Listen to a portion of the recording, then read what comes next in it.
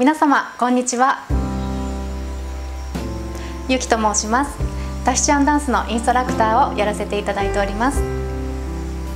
今回お送りするこの動画では夏までに鍛えるお腹周りということがテーマで、えー、お腹痩せに効くエクササイズをいくつかご紹介するシリーズ4本の動画となっております。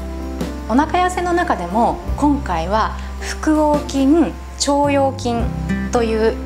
インナーマッスルと腹斜筋という腹筋を形成する筋肉にアプローチができるようなエクササイズをいくつかご紹介したいと思っております。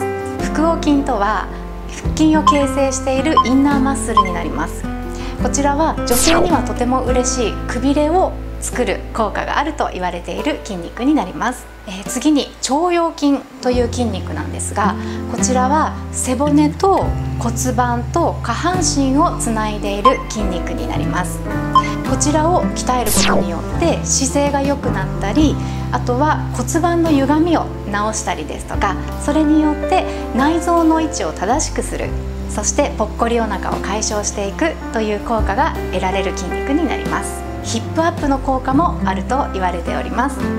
えー、最後に腹斜筋という筋肉なんですがこちらも腹筋を形成しているアウターマッスルになりまして、えー、くびれを作ったりメリハリのある体づくりには欠かせない筋肉だと言われています。この動画では実際のエクササイズに入っていただく前に、えー、行っていただきたいウォーミングアップとしてお腹痩せを目的とした呼吸法とあとは2種類のストレッチの方法を説明していきたいと思います。まずは呼吸法になりますがこちらロングブレスと言われるとても有名な方法になります。それではやり方の説明をしていきたいと思います。まずは両手をおへその下に添えるようにしましょ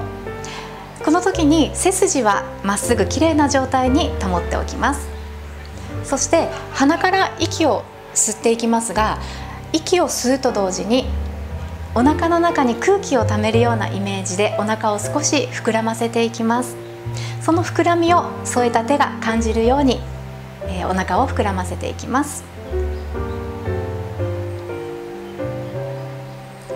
そして、えー、口からゆっくりと息を吐いていきますがこの口から吐くと同時に膨らませたお腹をだんだんとへこませていきます。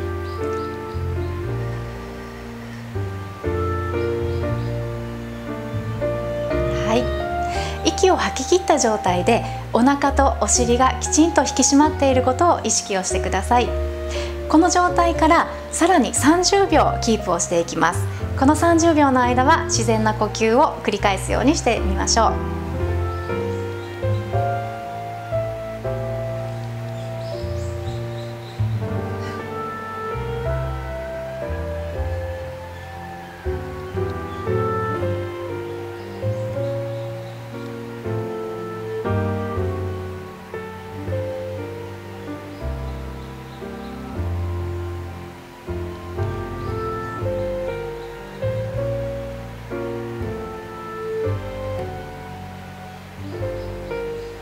はい。30秒経ちましたら元の楽な姿勢に戻っていきます。3回から5回ほど行うといいかと思います。それでは次にストレッチ2種類の説明に入っていきたいと思います。まず1つ目は体側のストレッチになります。今回この体側のストレッチをする時には必ず腰から腕の内側の筋肉えつまり脇腹ですね。この脇腹の部分の筋肉がしっかりと伸びていることを必ず意識をするように心がけてください。それでは早速方法ですが両手は上に上げましょう。脇腹の筋肉を意識してぐーっと伸ばしていきます。伸びている方と縮んでいる方意識をするようにしていきましょう。気持ちよく伸びたところで元の姿勢に戻ります。そして逆も同様に行います。またストレッチをしている間は呼吸は必ず続けるようにしましょう。呼吸を止めてしまうと効果がなくなってしまいます。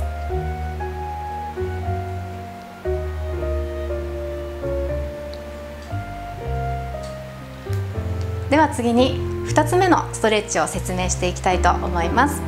このストレッチはいつも私がレッスンで行っているウエスト部分のストレッチになります。まず足はきれいに揃えて膝を曲げていきましょう。まず右側から説明をすると、えー、右足に重心をかけて右のお尻をぐーっと上に持ち上げていきます。イメージとしては右の脇腹をキュッと縮めるイメージです。逆の左側は左足を重心に変えて左のお尻を上にぐっと持ち上げるようにしていきます。